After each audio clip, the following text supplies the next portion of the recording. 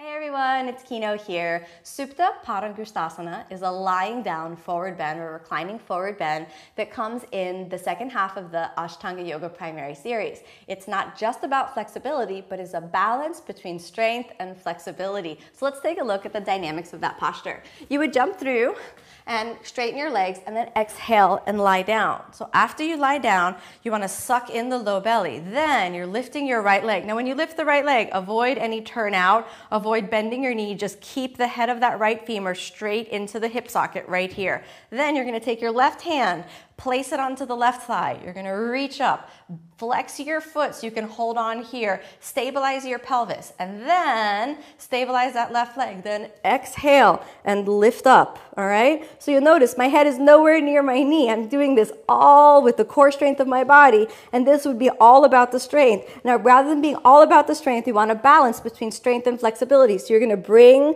your knee towards your head. One, two, three, four, and five.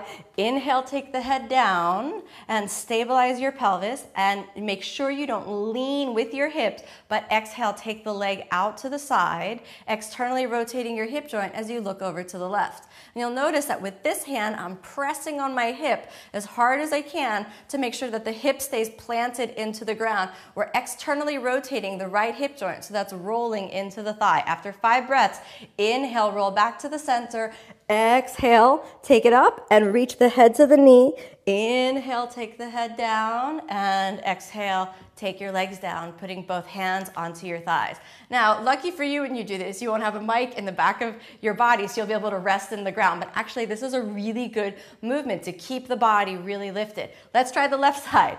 Taking the leg up, and inhale, hold onto your foot, point your toe if you can, Exhale, take your body up. And I really want you to try this for a moment. Imagine that you're so strong, and I'm not that strong yet, so you could touch your head to your knee without moving back. But because we want that balance, remember, don't externally rotate. Keep that leg in parallel. Bring the head towards the knee. One, two, three, four, and five. And then inhale, take the head down. And now watch what goes on in that left hip joint, especially around the outside of the left thigh.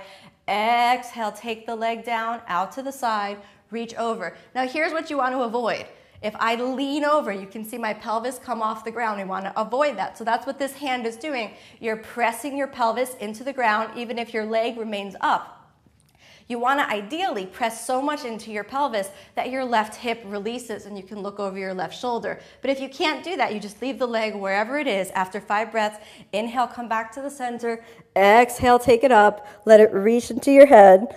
Inhale, take it down, and exhale, taking the legs down, both hands on your thighs. The traditional exit from this is Chakrasana, so you would roll all the way backwards, but we don't need to demonstrate that now. If you're unfamiliar with Chakrasana, you can check out one of my other videos on that. Thanks for watching.